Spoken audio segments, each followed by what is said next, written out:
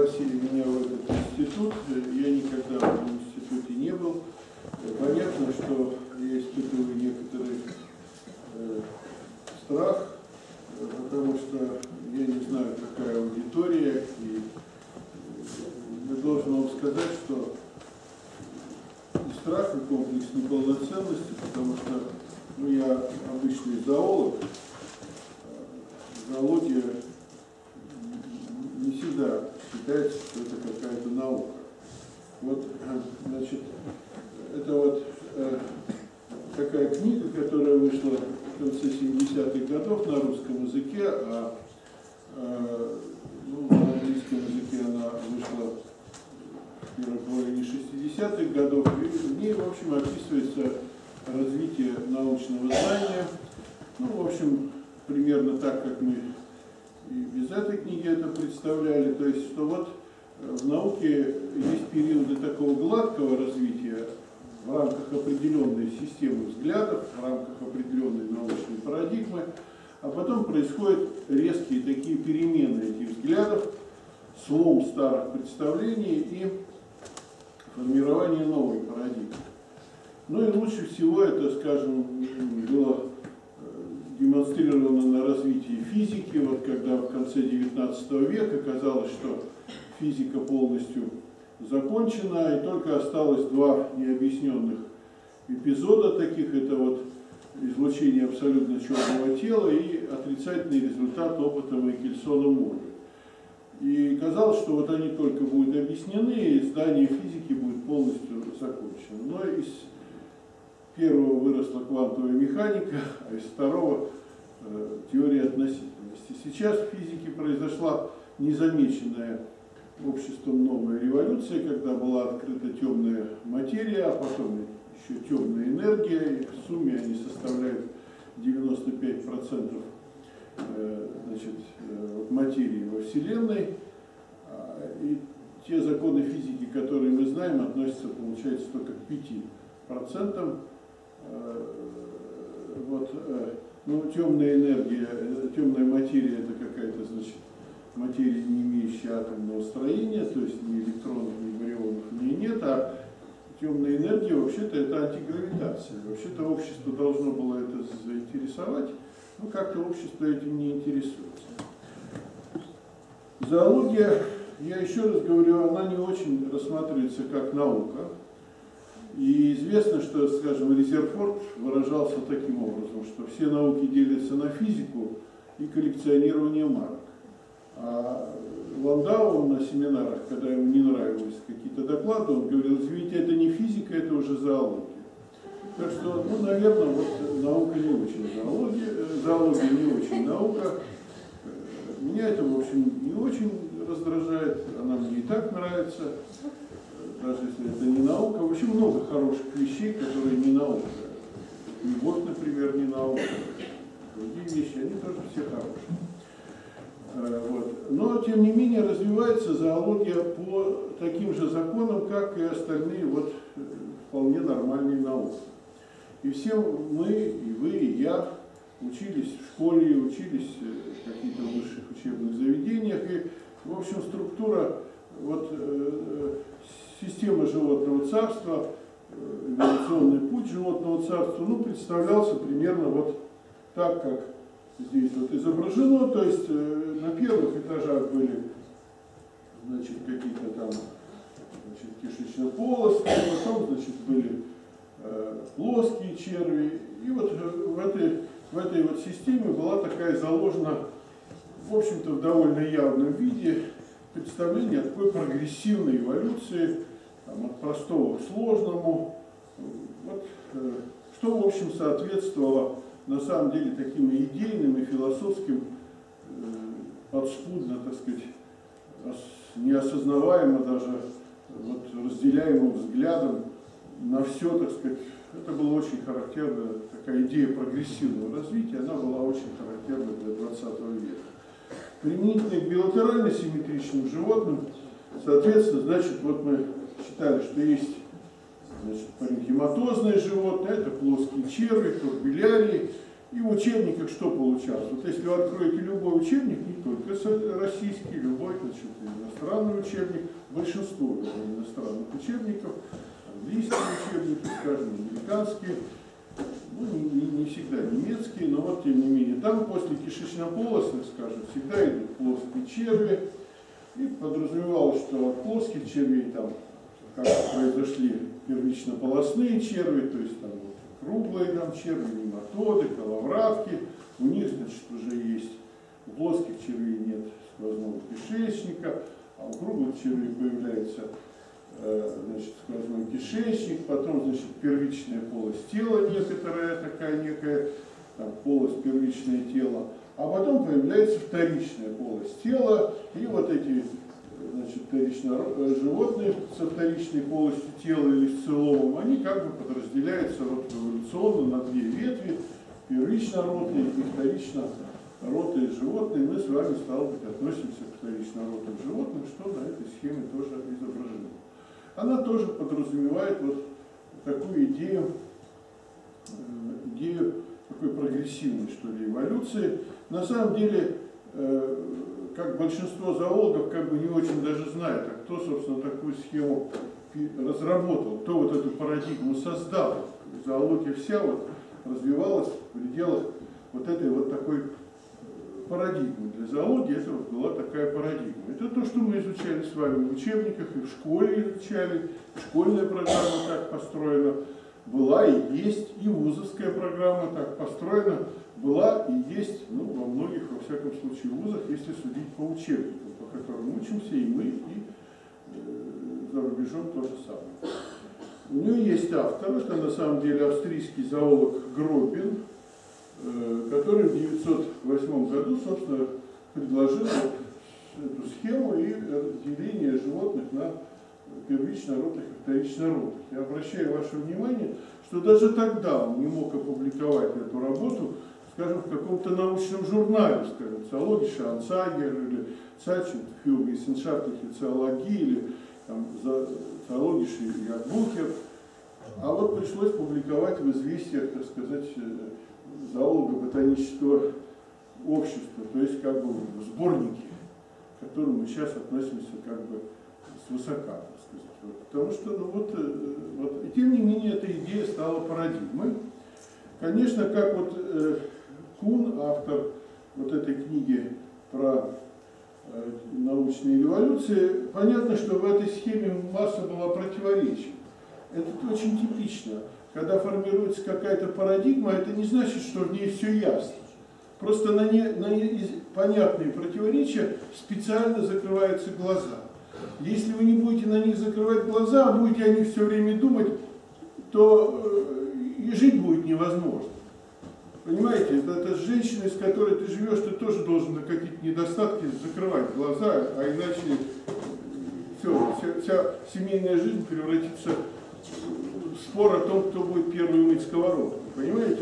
Вот ты должен на это как-то вот и с, с этой вот с парадигмой тоже. Тут ясно, например, ну, паренхематозные черви турбюлярии. У них, ну, кто, кто из вас не знал, что у них э, внутреннее оплодотворение, необычайно сложная половая система, ну чудовищные какие-то просто навороченные сперматозоиды, которых просто представить невозможно. И что, вот из них можно вывести наружное оплодотворение, скажем, Нериса или там Мидии, там, или морского ежа, и там э, совершенно примитивные сперматозоиды, все практически никакая половая система, так сказать, вот просто яичники наружу открываются. Это все можно вывести из внутреннего оплодотворения плоских червей? Ну, конечно, нет. И когда вот так эти, это вообще школе уже становилось понятно. Но когда задаешь эти вопросы, скажешь, ну, Тартий Васильевич Иванов, он же на самом деле вот эту схему я тоже самое, я же тоже давно уже живу на свете и преподаю. Я как-то эту схему, значит, преподавал в зоологии, читал лекции. Ну, задают же студенты вопросы, ну как вот это вот вывести это все из плоских червей? Ну да, вы понимаете, ну, наверное, были вот более примитивные, у них было наружное оплодотворение, вот от, них это все, вот и так далее. Вот у них, большинство, кстати, турбилярий прямое развитие, из яйца выходит просто турбилярия, А, а как тогда вот? А, а, а у морских ежей, скажем, да, извините, на самом деле у полихет, это просто не все как-то знают, и у моллюсков это бластула выходит из яйца, то первая личинка это бластула со жгутиками или с ресничками. Вот это как? Значит, что обратно штурму, что ли, пошло? Это как бы было понятно, эти противоречия. И все вот это выводилось от турбиляри. И вот если мы посмотрим в палеонтологическом плане, тоже получались какие-то несуразности. Вот в Кембрии что, есть какие-то плоские черви, что ли? Есть такое понятие кембрийский взрыв. Вот в начале Кембрия появляется масса всяких разнообразных животных. Ну, посмотрите, они какие-то членистоногие, у них метамерии есть, конечности. Ну, конечно, вроде бы так плоские черви, они же мягкие, вроде бы, но так отпечатки должны оставаться, полно отпечатков от других животных. Получилось, что в Кембрии есть кто? Есть членистоногие, есть брахиоподы, есть иглокожие. То есть те э, группы животных, которых вы изучаете в конце курса зоологии, а не в начале. Как-то вот все наоборот. Ну, вот во второй половине 20 века вот, э, на самом деле произошли очень важные события в палеонтологии. Удалось, Кембрия это ведь на самом деле очень недалеко. Жизнь на Земле, биосфера существует не меньше 4 миллиардов лет. Кембрия это по современным данным ну, 540 миллионов лет. И сразу вот эти все формы сложные в нем появляются. Но правда вот в палеонтологии произошло событие, и был открыт Венский период или Диакарский период. Ну, за рубежом в основном говорят и Диакарский период, это такое местечко в Австралии Диакара, а в России говорят Вент, потому что вот Борис Сергеевич Соколов, который вент как раз на Белом море в основном первый вент был найден в России и очень богатый. И вот он назвал это в честь э, э, древнего э, наименования слова, славян, славян Венды Венеты, вот венский период. Финны, как вы знаете, до сих пор называют Россию Венетией. То есть вот это вот название. Но тем не менее, что в Венде было обнаружено? А в Венде было обнаружено тоже вот посмотрите, венские отпечатки, они тоже представлены довольно сложными, ну, во всяком случае метамерными организмами, хотя метамерия это такая своеобразность, метамерия со сдвигом, но во всяком случае, э, как правило, их интерпретируют как каких-то там кольчатых червей или плоских червей. Вот как-то так вот это вот получилось.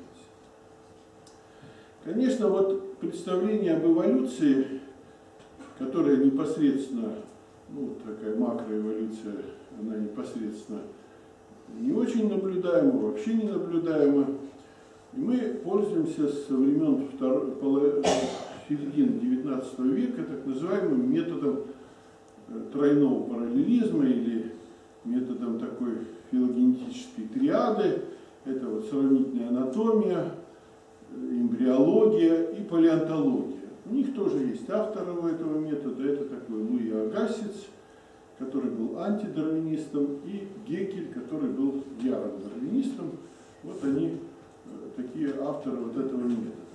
Но вот я уже говорю о некой научной революции, которая обычно происходит, потому что вот появляются новые методы, новые приборы, и никто не ожидал, но получаются новые результаты. Вот э, в конце 20 века очень подешевели, упростились и стали абсолютно доступны методы э, значит, чтения генетических текстов, то есть секвенирование ну, в значительной степени благодаря вот проекту «Геном человека», оно достигло очень больших его прогресса, стало доступным, дешевым. И вот к этому методу тройного параллелизма прибавился, прибавился в виде такого вундеркинда, который знаете, в шестилетнем возрасте обыгрывает гроссмейстеров. Э, вот метод э, молекулярной филогенетики, благодаря которому стали строиться филогении. И эти новые филогении, они совершенно не совпали с традиционной филогенией, вот той самой, которая показывалась на картинках предыдущих, а они какие-то стали совершенно необычные. Вот эти первые работы, ну, как выглядели вот первые работы, появившиеся уже почти 20 лет назад, в них появились совершенно необычные объединения билатерально симметричных животных. Например, как такое название дизозоа, таксон, в который попали членистоногие круглые черви, но при этом не попали аннелиды. И вот как сейчас выглядит представление о филогении белотерии, как вот их можно представить. И получается, что вот таким образом. Посмотрите, здесь есть таксоны, которые, ну, вторичнородные нам понятно, они как бы остались из старой филогении. Вот появился таксон гизозоа, линяющий, который попадает совершенно не похожие разные группы животных. Скажем, видите, с членистоногими объединяются приапулиды и, и нематоды, и при этом, скажем, кольчатые черви, они отрываются очень далеко от членистоногих. Они вообще к ним ничего общего не имеют. А это же таксон артикулята, это один из типов установленных Кювье. 200 лет назад зоология пользовалась 200 лет подряд зоология пользовалась таксоном артикулята.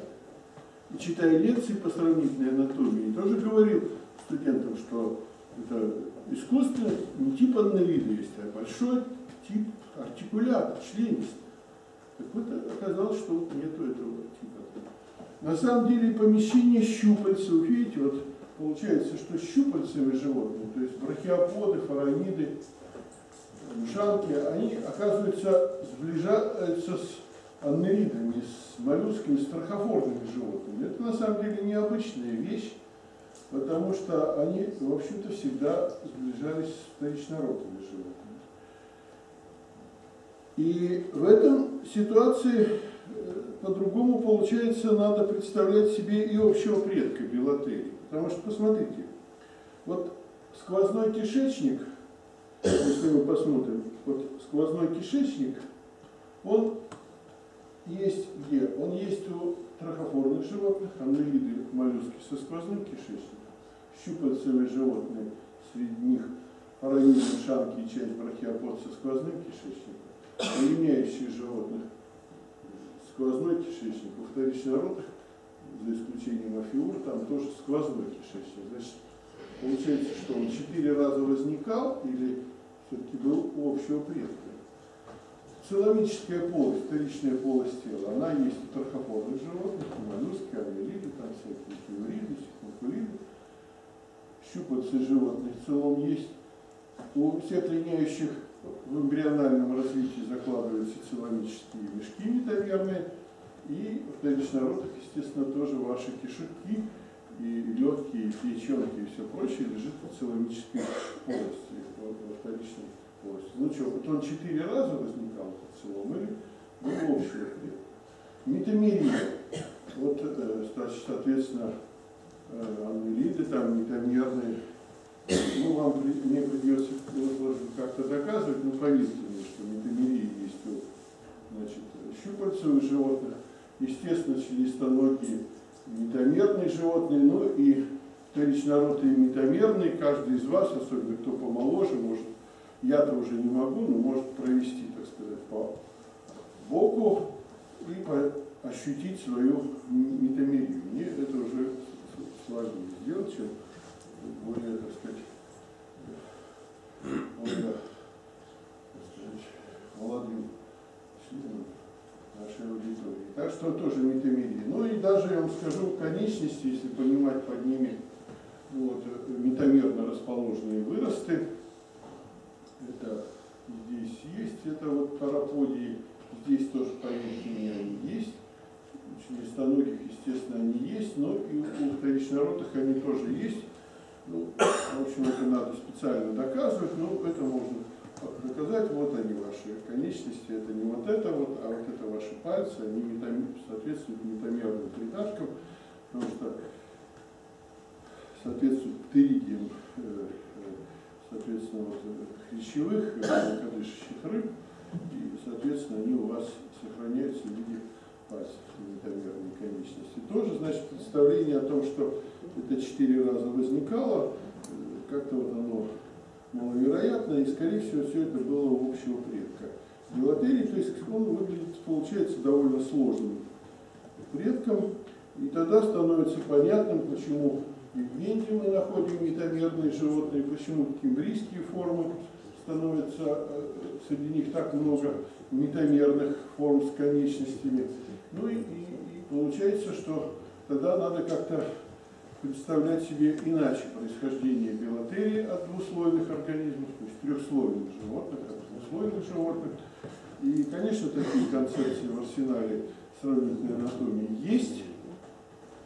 И это вот, например, концепция э, цикломерного происхождения белотерии от кишечно-полостных, перешедших ползания на поверхности, после чего, значит, э, соответственно, после чего э, щелевидный рот замкнулся и дал начало сквозному кишечнику. То есть на самом-то деле, конечно, у кишечно-полостных то, что мы называем ртом, это никакой не рот, это ротоанус, он по-другому устроен и работает. А тут, значит, вот как бы единая структура разделилась на две структуры, собственно, простите, на, на рот и на анус. Ну, а, значит, карманы кишечной полости, карманы цилентера разделились на целом и на энтером, то есть на кишечник. При этом цикломерное расположение стало метамерным, а значит, щупальца дали начало, ну, соответственно, метамерно расположенным конечностям. Э, это тогда находит объяснение вот это широкое распространение щелевидного властопора и разделение рта на два отверстия, которые впрямую видно лунолит, моллюсков, гастротных, круглых, червячные станок, ну и разные рудименты щелевидного властопора широко распространены э, в эмбриологии разных групп животного царства, что говорит о возможном происхождении сквозного кишечника путем амфистомии. Ну, а что касается вторичной полости тела, то она таким образом является производным цилиндрона, то есть кишечной полости значит, двуслойных животных. И, соответственно, бластоцель, э, он становится соединительной тканью и превращается значит, в полость кровеносной системы, а значит, карманы кишечника, они становятся э, значит, вот, вторичной полостью тела, то есть э, целому. Ну и между целомом и кровью всегда есть такое важное отличие, которое, правда, вот, на моих картинках, которые приготовлены для публикации, поэтому не всегда хорошо заметно. Посмотрите, полость целома, она никогда не отделена от клетки полости целома, никогда от полости ничем не отделены. Тут никакого барьера нет. Бластоцель, он всегда отделен от всех тканей, он всегда отделен базальной пластинкой. Под эпителиями всегда есть базальная пластинка. Поэтому полость гемоцеля, который генетически связан с бластоцелем, она всегда имеется барьер, то есть всегда имеется базальная пластинка, которая отделяет полость гемоцеля от, э, э, э, от окружающих тканей. Только мезодермальные производные могут контактировать с полостью целого. Что касается гемоцеля, то любая ткань, любой зародышевый листок и эктодермальные, и мезодермальные, и энтодермальные э, ткани могут контактировать с э, гемоцелем, с полостью кровеносной системы, но всегда не непосредственно, а только через базальную пластинку. Ну, вот скажем, здесь это может лучше видно, вот, значит, целомическая полость, и вот выстилка целома, она представлена исходно эпителиально-мышечными клетками, ну потому что все вы знаете, что полость кишки там у кораллов, у гидры там, все, это же эпителиально-мышечные клетки. Ну вот они тут эпителиально-мышечные. А вот полость гемоцеля, полость кровеносных сосудов, она по происхождению это первичная полость, это бластоцель, это и она всегда будет отделена вот этой базальной пластинкой, и у беспозвоночных, как вы знаете, собственно, сосуды, как правило, не имеют эндотелиальной выстилки или имеется в некоторых только сосудах эндотелиальная выстилка, иногда неполная, ну, за счет того, что амибоциты, клетки, э, блуждающие клетки соединительной ткани, они э, ну, оседают и дают иногда псевдоэпителии, а иногда и настоящий эндотелий, который, впрочем, как я сказал, у беспозвоночных ну, как-то не очень хорошо выражен. Обозревая общую схему э, э, билатерально-симметричных животных, их соотношения, ну, нужно сказать, что новая филогения, она не тронула, в общем, вторичнородных животных. И вторичнородные животные очень интересны, я ими много интересовался, много переживал за них в своей жизни. Ну, вот мне придется про них, в общем-то, не рассказывать потому что, ну, в общем, они остались в том же составе. А вот что касается линяющих животных, где зазор, вот ничего более отвратительного, мерзкого и поганого для нормального зоолога, особенно преподавателя, читающего лекции, быть не может. Это настолько отвратительное объединение, настолько чудовищное и неприемлемое для для, для нормальных людей, потому что приходится говорить о, том, что о, о близком родстве, приходится говорить о близком родстве, понимаете, таракана и аскариды.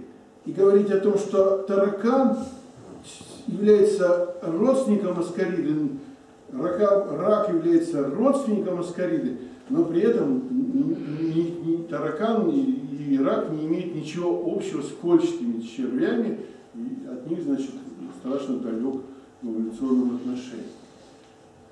И вот эти все новые построения, они никогда не будут приняты зоологами до тех пор, пока, понимаете, они не будут подтверждены другими компонентами вот этой эволюционной тетрады. Пока мы не найдем морфологические, эмбриологические синапоморфии, которые эти группы объединяют. Что же объединяет экдизозойных животных? Что же объединяет ледняющие животных? Как ни странно, это прежде всего строение покровов. Вот большинству беспозвоночных свойственны покровы с микровиллярной кутикулой. Ворсинки, микроворсинки эпителиальных клеток выделяют белковую кутикулу и, собственно, пронизывают слой кутикулы. А такая кутикула может и должна оставаться гибкой. Она может быть очень толстой, но она остается эластичной в течение всего всей жизни. Если она тоненькая, через нее могут даже реснички э, располагаться. Линять она не может, потому что при линьке неизбежно оторвутся вот эти микроволосинки и соответственно, эпителиальные клетки разрушатся. Дизозойная кутикула, она принципиально другая.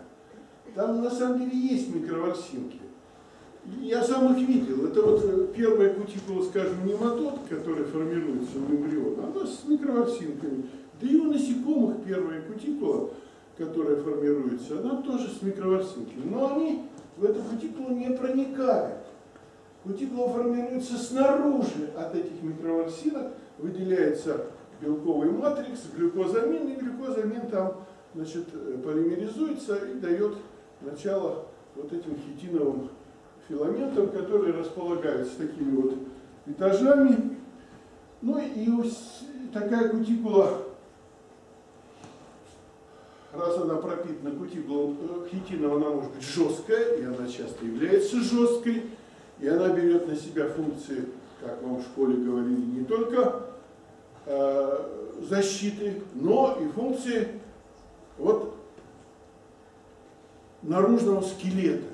Членистоногие – это животные с наружным скелетом, к которому крепится мускулатуру. И такая кутикула жесткая, поэтому расти она не может и должна периодически линять, что вполне возможно, потому что эпителиальные ткани, собственно, в эту кутикулу не проникают, а сама линька э, э, регулируется выделением гормона эктизона, который почему-то очень похож, что мы довольно, да, что мы на самом деле давно знали, и у аскариды, и таракана, и речного рака, вот эктизоны, они, в общем-то, как строго говоря, очень близкие, очень похожи. И мне кажется, что вот такая, вот эта кутикула эктизозоидная, которая жесткая, покрыта сверху липидным, значит, вот этим слоем, водоотталкивающим слоем, она и формировалась, скорее всего, не в чисто водных условиях, а, скорее всего, может быть, даже такой на границе сред обитания. И э, в таком, будем считать, поэтическом воображении зоологов, зоология же не вполне наука, поэтому нам не зазорно обладать неким таким поэтической фантазией. Вот в моей фантазии получается, что вот это вот, понимаете, выползание самых примитивных из ныне живущих не только членистоногих, но вообще и дизозойных животных, мечехвостов, на сушу, на отливную полосу для размножения, это как черепахи, которые плавая, морские черепахи, плавая в море, возвращаются на сушу для размножения. Это как земноводные, как лягушки, которые вспоминают о том, что они водные животные во время размножения. Они возвращаются на свою изначальную... Ой, а что это такое? Я что-то нажал? А, это какое-то вот такое вот явление. Я подумал, а что ж тогда такое вот это самое эпизозойная кутикула. Ведь у многих беспозвоночных есть всякие трубки. Трубки вот. Защитные там теки, трубки, всякие домики. Они тоже содержат хитин. А вот только вот в трубках там в этих ленты хитина расположены вот так, неупорядоченно.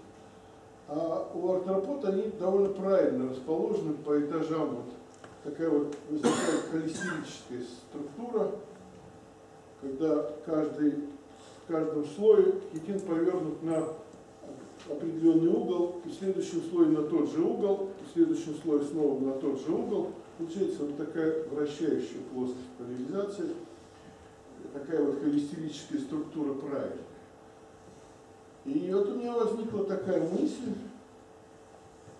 вот давайте представим, сравним обычную кутикулу с трубкой и дизозойную кутикулу. Посмотрите, вот это место обычной белково-полисахаридной кутикулы, пронизанной микроворсинками, вот она, у дизозоя. А это вот хитиново-белковая трубка.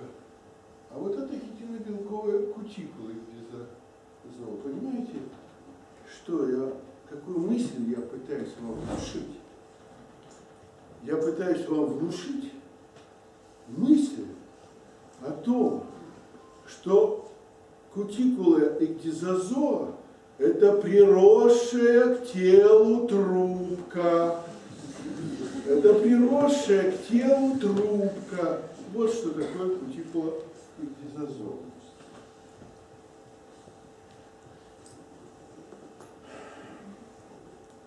Я забываю, что говорить. Когда появляется эктизозойная кутикула, она берет на себя опорные функции. Она становится наружным скелетом. Какие функции выполняет ЦО? Школьные учителя или университетский профессор заставлял вас учить, какие функции выполняет вторичная полость тела. Опорную, выделительную, половую. Вот три функции целого вторичной полости. Если появляется наружная кутикула или наружный скелет, или вообще скелет, то опорная функция переходит к этому скелету. И целом сразу уменьшается в размерах. Две остальные функции у него сохраняются, или хотя бы одна. Потому что без размножения не обойтись, значит без гонад не обойтись, значит гонада всегда будет целом. Но объем первичной, вторичной полости тела резко сокращается. И получается, что целомические животные, у них большая вторичная полость тела, но относительно узкий объем э, гемоцель, первичной полости тела, гемоцель, то есть кровеносной системы. Ну, мы физиологи, я не знаю, у нас тоже, в общем-то, целом не самый большой, потому что у нас есть хоть не наружный, но внутренний скелет. Но все-таки я не знаю, какое соотношение жидкости, которую можно выкачать из целома, из брюшной полости и кровеносной системы. Сколько там? Крови у нас литр 4, а отсюда, наверное, все-таки литров 10 или 20 можно выкачать. Ну вот так. А э, если вы возьмете там, скажем, почтового червя или там, не знаю, там морскую звезду или там, параниду какую-то, то у нее, конечно, будет большая очень жидкость объема целома и относительно малый, малый объем вот этой вот э, жидкости в кровеносной системе. А в дизозойных животных ситуация совершенно обратная.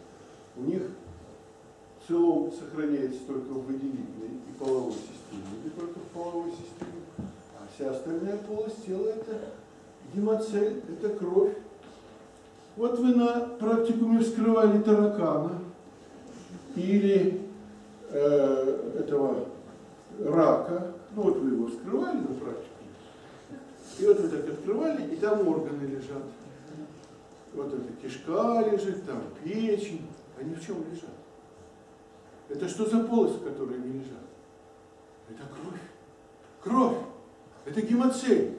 Они валяются в гемоцеле, они купаются в крови. На самом деле, похожее явление есть у моллюсков. У моллюсков развивается рак. Она тоже опорная структура. Это независимый процесс. Они остаются лафотрахосформными животными все такое. Но раковина-то есть мускулатура крепится к раковине. А у некоторых раковин это какая? Ну вот у гастропод, она же вся прячется в раковине. Или там э, э, двустворчатый моллюск, он полностью закрывается в раковине. Раковина все закрывает, все, опорная структура раковины. Ну и вот вы там на практику, вам давали виноградную улитку, вы ее разрезаете, скрываете, там тоже открываете, видите, там кишку, там вот эта половая система, мешок любовных стрел. Это в чем все лежит-то? Ну это уже полость какую-то попали. Это что за полость? Кровь, кровь, кровь. Это вы попали в кровь. Это на самом деле гемоцель. То есть у моллюсков с раковиной, большой раковиной, гемоцель обширный, а целомическая система где? Перикарде, который это выделительная система, то есть перикард открывается воронкой почек, и, соответственно, в гонадах. Иногда ведь что приходится делать? Иногда, допустим, двустворчатому моллюску, скажем, вот там примитивному этому протобранту, надо в грунте копаться. Нужно ногу, нога у них основной Они надувают ногу, цепляются зубчатыми краями и подтягиваются. Ну, втянуть ногу понятно как, мускулатура, а вытянуть как?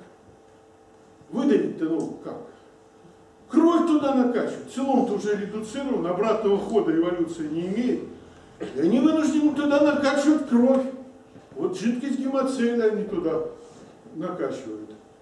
Потому что, ну вот, уже все, она редуцировалась так. И, и вот есть отличие, я еще раз говорю, посмотрите, как отличить целом от гемоцеля. Поглядите.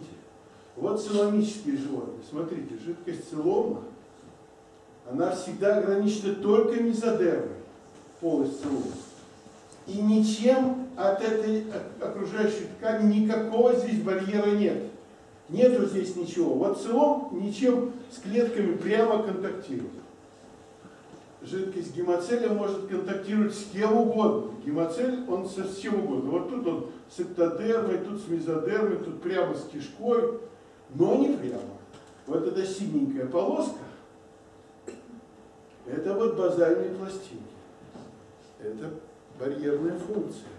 Белки через нее не пройдут. Клетки, если они специально не приспособлены для того, чтобы пролезать через базальные пластинки, как там делают некоторые они не пройдут. То есть есть всегда барьер. И не все вещества через базальную пластинку идут, как вы знаете. Вот между гемоцелем с целомом этого физиологического барьера. В гизозор входят очень разные животные. Туда входят всякие нормальные членистоногие с ножками, всякие типа лобопот, это анихофоры, уже у которых членистых ножек нет, а так такие мягкие ножки. И вообще червеобразные дизозоы. Вот всякие головохоботные черви, волосатики, которых я тоже считаю головохоботными червями, хотя весь мир их не считает, или почти весь мир. Ну, это его сложность. А, значит, и круглые, соответственно, черви, которых весь мир почему-то сближается с волосатиками, я не сближаю. Вот. вот как эволюция шла. Понимаете, вот сто процентов люди считают, что все от червей. Все от червей. У нас это вот, понимаете, червивый национализм, этот вот червивый вот этот вот национализм, что все от червей. Вот, это. вот сколько видите, все вот построения всегда вот от червей там развивались, шло процесс артроподизации, вырабатывались ножки. Вот я. Потому что вот это все живет на поверхности субстрата, вот это живет в подстилке, а вот это в толще грунта, в толще субстрата. А когда вы залезаете в толщу грунта, ножки не нужны, они мешают. Всякие ножки редуцируются, когда вы залезаете в толщу субстрата. Тот, кто знает, помнит зоологию, помнит, что эрантных полихет хорошие параподии, а у седентарных только там пучочки щетиночек и все. И у, у, у, у позвоночных то же самое. Вот я вам для примера позвоночным все понятно. Наземные э, э, амфибии, там, скажем, саламандры, тритоны имеют ножки хорошие, а червяги, гимнофионы, живущие в толще грунта, вы их видели, червяк? Кто видел? Они же как дождевые черви, их не отличишь. Они, у них даже носички эти вот такие, скользкие, и вот такие вот, вот они, вот. Потому что в толще грунта живут. Уверяю вас, вы думаете, змеи, они тоже вели подземный образ жизни, ну, в верхнем слое почвы. Почему? А веки сросшиеся. У змей же веки сросшиеся, чтобы это не попало туда. Это вот они тоже исходны. Это потом, когда динозавры вымерли, вот можно было стать, начать расти в размерах. А так это дождевыми червями питались. Поэтому, скорее всего, вот путь эволюции, э, мне кажется, вот обычно, вот я говорю, вот это наш червивый национализм, он идет вот червей, нет, скорее всего, вот так, от эпибионтных членистоногих или ну, каких-то недомерных форм с конечностями, к стратобионтам, живущим в толще таких вот каких-то матах, там, водорослей или подстилки, там, вот такой, и толще грунта, и при этом идет утрата и конечностей, и всего. И вот, соответственно, приапулиды, которых, конечно, российские зоологи хорошо знают, ленинградцы хорошо знают, все работают на Белом море, так или иначе. Вот это дизозойные организмы, и, кстати, хитиновые кутикула, линяют они, посадите приапулюса, не кормите месяц, он вам обязательно перелиняет. Вот. И э, вот он, значит, как роется в толще грунта, а как живешь в толще грунта, как рыться-то? Это гидравлическая локомоция, надо перекачивать жидкость. жидкость, а целом-то редуцирован, когда был этим, когда хитиновый покров-то был жесткий, целом-то редуцировали. И что такое полость тела при апулиде? Сколько зоологи спорили по поводу полости тела при апулиде, целом или что? Это обширнейшая полость тела, но это гемоцель. Он всегда отделен от окружающих тканей, посмотрите, базальной пластинкой. Базальной пластинкой. В этом гемоцеле, кстати, плавают эритроциты, так, на всякий случай. На самом деле, хотя могло бы так и не быть, но он живет в таких слоях грунта, что все-таки надо иметь эритроциты. Вот он имеет эритроциты. Правда, там не гемоглобин, а другой пигмент. Он такой слабо-розовый, геморитрин. Но тем не менее, это вот эритроциты с пигментом. Нематоды. Уж сколько всякого написано про полость тела нематод. Ну, во-первых, я должен вам сказать, что большинство нематод все-таки свободно живущие организмы, мелкие очень. И никакой на самом деле полости тела у них нет. Я сам занимался нематодами. Органы очень тесно прижаты друг к другу. Ну, у больших, конечно, типа аскарида полость появляется. Большая часто полость. Но вы посмотрите, эта полость тела всегда, вот этот вот, я нарисовал это картинки для статьи, которые со своей ученицей писал. Часть картинок нарисованы Малаховым, они такие пестрые, липоватые, и она их презирает. И она рисует более нежные картинки. И вот у нее так, эта базальная пластинка такая нежная, поэтому задних рядов не видно. Ну, потому что у меня там синяя, грубая, неэстетичная. И вот все органы, посмотрите, вот они всегда отделены от полости тела базальной пластинкой. Эта полость тела может контактировать с эпидермисом, с мускулатурой, с кишечником. Это гемоцит. Как вам не кажется, вам, получившим нормальное зоологическое образование, как не покажется вам это эпитически, полость тела аскорид, то, что вас учили, первичная полость, хизоцель, псевдоцель, все эти названия, это гемоцель. Это гемоцель. Грубо говоря, это кровь аскоридная.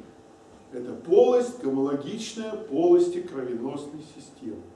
И вообще в животном царстве две только и полости есть тела у белотерии.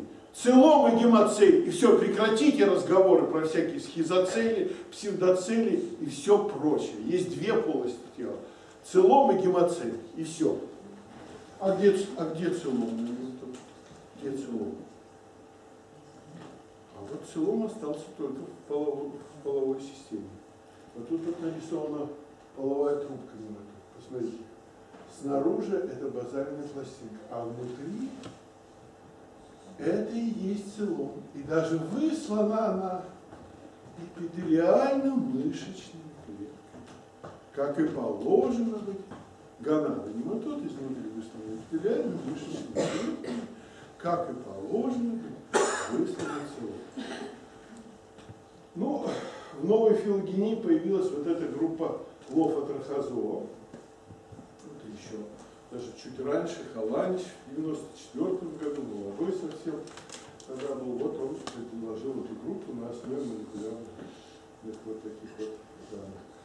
Ну, тоже нужна какая-то синопоморфия, морфологическая синопоморфия. Как я ее презирал. Как я всю жизнь ее презирал. Вот она. Это щетинка. Вот щетинки вот эти вот щетинки, которые формируются единственной клеткой хитобласта, которые микроворсинки щетинки внутри, и она как скульптором, вот скульптор пальцами формирует морфологию щетинки, здесь так, что это внутри пальца. И вот от нее остаются от этих щетинок вот эти следы, вот любая щетинка, вы ее разрежете, не всегда вот есть вот эти каналы идущие, это след вот этой микроворсинок, этой большой единственной клетки хитогласта. Вот есть это только у лофотрахоформных животных. Нигде больше в животном царстве этого образования нет. Можно не иметь членистых конечностей, можно иметь просто бугорочки, снабженные щетинками разной формы, и так ползать, так передвигаться, если это нужно. У лафофорада это три группы, брахиопода, фараниды, брахиоподы, фараниды, ушанки, ну, брахиоподы тоже беломорские, ленинградские биологи на Белом море бывают, значит, живые знают. Вот. Ну вот их эмбриональное личиночное развитие, кстати, вот это вот характер развития как вот в 90-м году стал понятен вот примитивный брахиопод. Личинка брахиопод на самом деле имеет парапод. Три пары сегментов и три пары щетинок. И вот она при метаморфозе, смотрите, вот так складывается, вот так, вот, вот так складывается. И вот эти две раковины, которые мы называем спинной и брюшной, как легко догадаться, спинная вот тут вот, а брюшная вот тут вот. То есть они обе на самом деле спинные, просто одна передняя, другая задняя. Ну, это вот так трудно объяснить. Я вам сейчас вот карикатуру нарисую, только вы не смеетесь. Вот, понимаете, как вот это получается? Вот тут одна раковина, и вот тут одна раковина. Вот таким образом происходит метаморфоз. И даже понятно, как это могло сформироваться в эволюции, без какой повадки. Это вот, скажем, защитная повадка, это вот, ну, вот такое складывание. И вот как защитная реакция. А затем уже вот эта жизнь в складывающем состоянии, она так сохраняется. Фараниды, ну как-то мало их знают. На самом деле их действительно видов мало. Всего видов, ну, наверное, взрослых видов 12, а личиночных видов, личинок легче поймать в планктоне, их видов 20, наверное, будет, 25. Но довольно они вот могут быть многочисленны. На Дальнем Востоке в заливе Петра Великого плотность может быть 100 грамм, для массы фаранит может быть 100 грамм на квадратный метр У них действительно очень красивые личинки, долгоплавающие, вот такие актинотрохи. В Белом есть один вид фаранит. Мы нашли, аромисовались. Ну, правда, вот он маленький личиночного развития, личинка полностью. А так они долго плавают в толще воды. Вот. И вот у них такой метаморфоз, когда на брюшной стороне получается такой вырост, и в этот вырост вот втягивается э, кишка, и главной осью тела становится, ну вот если на меня посмотрите, и вот, вот вот и будет, вот этот вырост и будет это вот главная ось тела. Тоже я вам нарисую карикатуру, но вы не смейтесь. И вот, значит, это вот вот а передняя задняя, она получается совсем маленькая. Ну вот, вот, ну что, ну, в общем, ну, сидячий образ жизни, да? сидячий. Ну и тоже вот можно представить себе, как такая, какое строение могут формироваться в эволюции. Это вот зарывание толщины грунта при опасности, мускулистой брюшной подошвы, как у моллюсков есть брюшная подошва, вот если на ней ползать, можно и зарываться. Ну, мусорки, например, зарываются. И вот э, могла, мог такой план возникнуть. Ну и, наконец, страхоформные животные или спирали. А тут со синопоморфией все понятно. Это, значит, вот они очень разнообразные, конечно, тоже внешне это моллюски, суббилярии, почки, черви, мертины, там сипулькулиды, план настроения это очень разные. Но у них есть общая синопоморфия, это спиральное дробление, э, очень одинаковое, очень специфичный тип развития, когда у очень разных животных, скажем, Нериса и, и одни и те же пластомеры дают одни те же органы.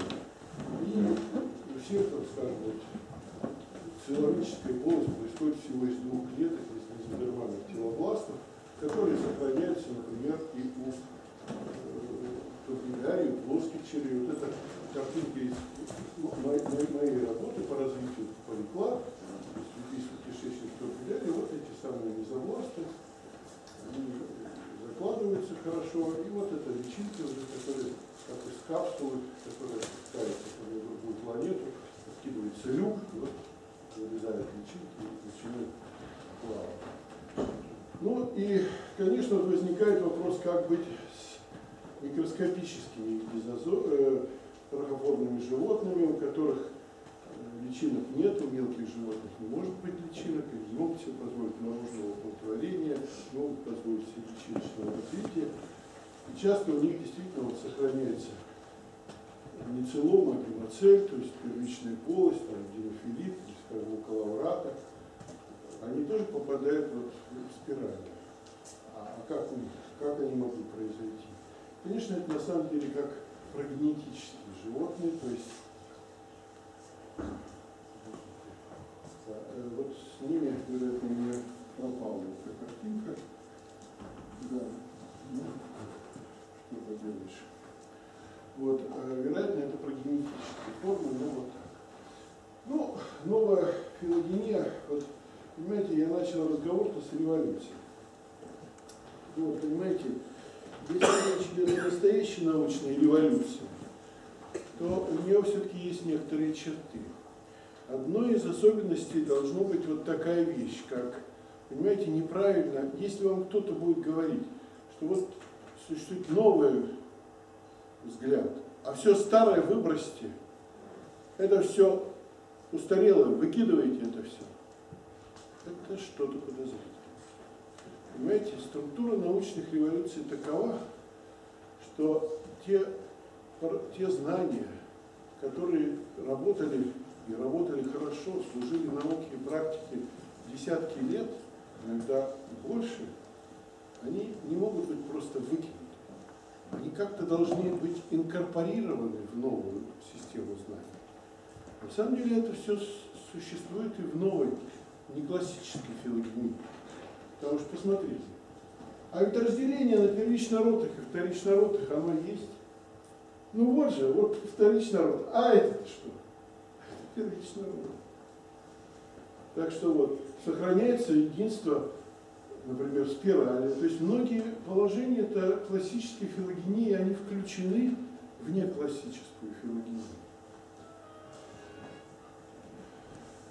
Почему мы поверили в неклассическую филогению?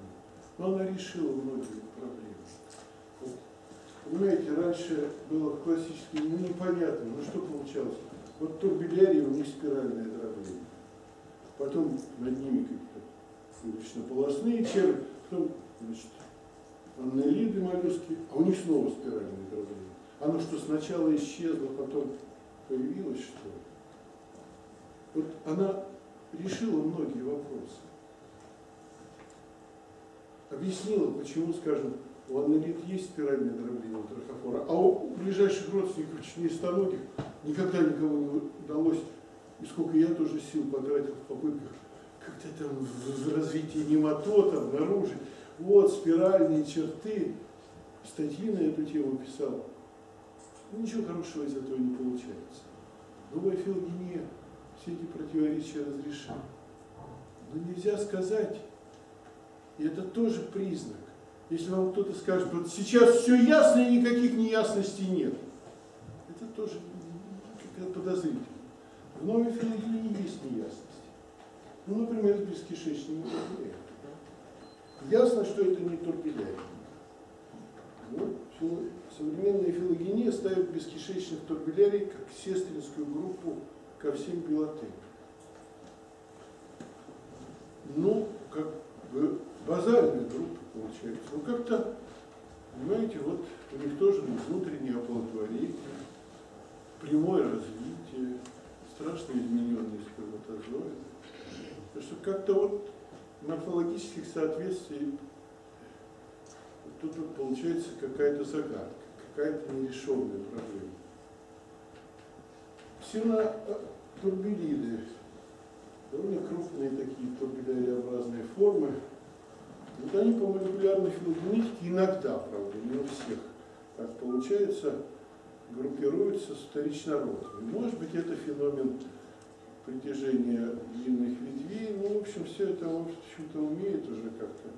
Вот получается, что по некоторым данным они вторичнородным, А морфология и развитие как никак это не подтверждает. Так что положение ксенотурбелит тоже вот как-то загадочно. Ну и с хитогнатами. Хитогнаты и в старой этой не очень щетинкочелюстные находили себе место. Ну, как-то их все-таки ставили поближе к вторичнородным. Новая молекулярная филогенетика, она отодвинула хитогнат со старого места, но нового места им, в общем, так и не нашла. И на это все вот закрывают глаза. Это как раз свойственно любой парадигме. Двигаться вперед все-таки, но закрывая глаза, не останавливаясь, не концентрируясь на таких несуразностях. Так что, на мой взгляд, эти вот неясности, они будут источником роста, источником, может быть, новой парадигмы, которая сломает то, что стало не классической, так сказать, филогенетикой, что, наверное, нормально, даже если зоология не очень наука, то она таким образом, это хорошо, что есть такие несуразности. Значит, она будет развиваться, она не будет останавливаться. Show must go on. Спасибо.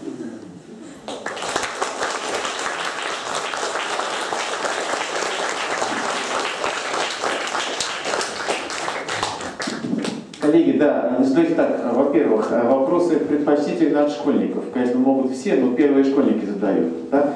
Второе, мы немножко задержались, но если Константин Ильич не возражает, мы на 5 минут. Да, хорошо. Значит, так, школьники вопросы. Плохо. Надо, у вас уникальная возможность поговорить с уникальным человеком, между прочим. Так что вот зря. Хорошо, да, не школьники. Э, Ирина Германовна. Очень интересно но детский вопрос, вот вопрос от школьников. А что же такое общий предок? Осталось как, остался квадратик за кадром. Как вы себе это представляете? Логика общая понятна, но из этой логики, наверное, можно вернуться немножко назад. Ну, мне представляется, что вот, э, э, понимаете, вот как бы э, происхождение Белотерии есть три группы концепций. Одна группа концепции это турбулярно-планулоидные, которые ну, как бы выводили от фагоцителла бескишечную турбулярию, от бескишечной турбулярии всех остальных турбулярий, а от турбулярии всех остальных белотерий. Другая группа концепций, она вот немецкой науки свойственна, это артицеломатная концепция, она выводила белотерии от э, как бы, полипов с четырьмя карманами, ну как вот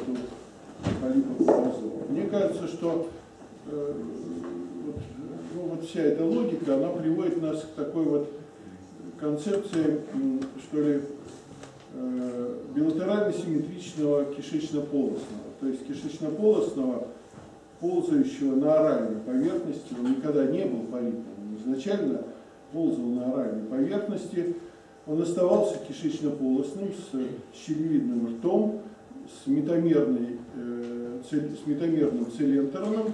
Вот. И именно от такого билатерально-симметричного ползающего кишечно-полостного произошли, с одной стороны, сидячие кишечно-полостные, у которых вторично развилась радиальная симметрия. Это вот еще одна еретическая мысль, которую я вам тут вот внушаю, что билатерально, что, например, книдарии исходно билатерально-симметричный организм.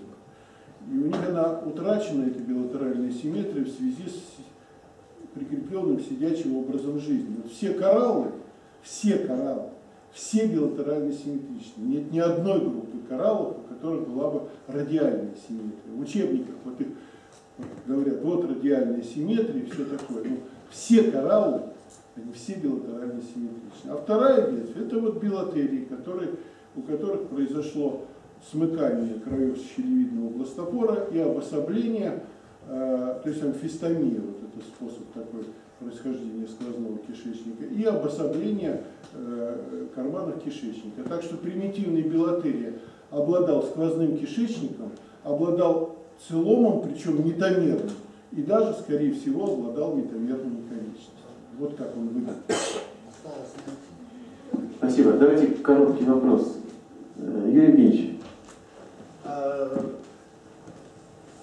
Спасибо в вашем э, весьма интересном для физиологов докладе в названии у вас звучало о зоологической симметрии, о развитии зоологической симметрии в процессе эволюции.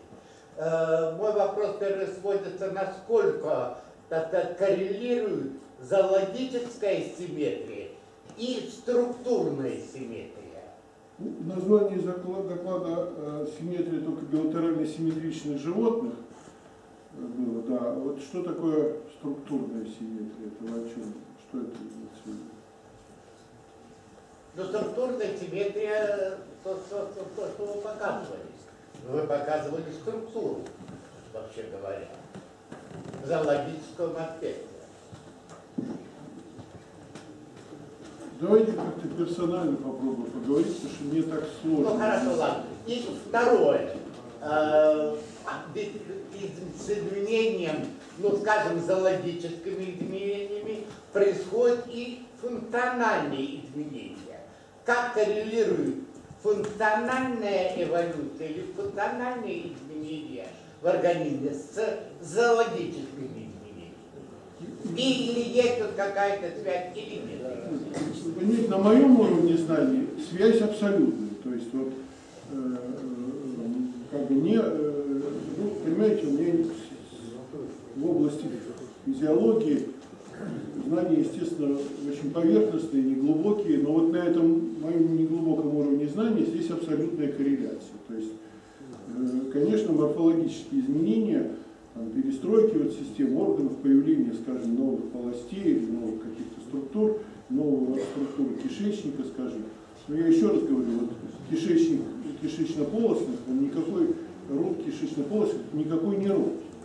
Это ротамус, это другая, другой орган совершенно. Можно его по латыни называть, там, стомопрокт, если хотите. Вот. А э, появление, скажем, сквозного кишечника совершенно меняет функцию, и, потому что есть одно отверстие для приема пищи, другое для выделения непереваренных остатков, дает возможность разделить кишечник на зоны переваривания и много других вот вещей. Так что корреляция полная. Ну, наверное, возникает масса вопросов, если мы углубимся куда-то на другой уровень. Ну, эти вопросы так или иначе когда-то будут разрешены наблюдательными, экспериментальными методами. Вот. А на поверхностном уровне корреляция полная. Спасибо огромное. Мы, к сожалению, должны ехать дальше. Э,